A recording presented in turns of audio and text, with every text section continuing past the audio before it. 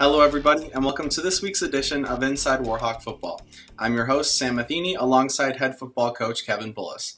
Coach, congrats on another great season. Knowing the 2020 year was canceled, how much did it mean for you as a coach to get back out in the field and play competitive football this year?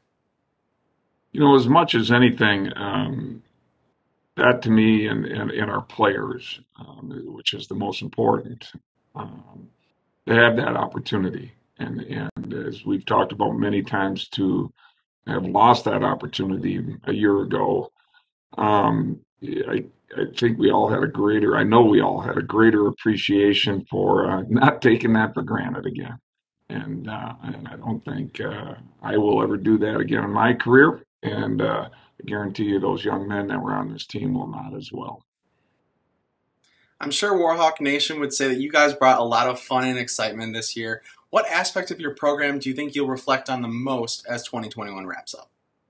You know, and this I know this sounds very mundane and, and very coach talk, but it's it's real. Um, our consistency of process day to day um, has been fantastic and it carries over to Saturdays. Not even a question. And Saturdays have been a reflection of that. And um, and very proud of our guys, um, day in and day out. It's one thing to me. The most important thing that they do with our process. Yes, come come to come to practice, come to meetings, work your tail off, bust your tail, push yourself, challenge yourself. But they did it um, in a manner that makes it fun, that makes it exciting. And, and they did it by teaching and helping each other. That, and that, that to me may be the greatest component of what we do in our process.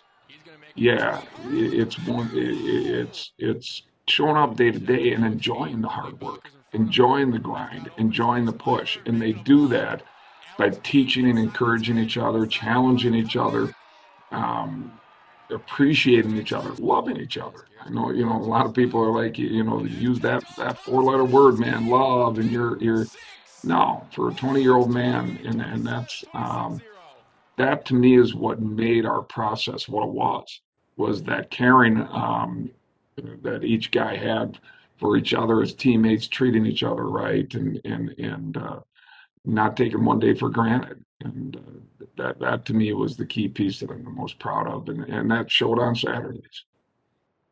As always, I appreciate your time, Coach. Thanks for a fun season.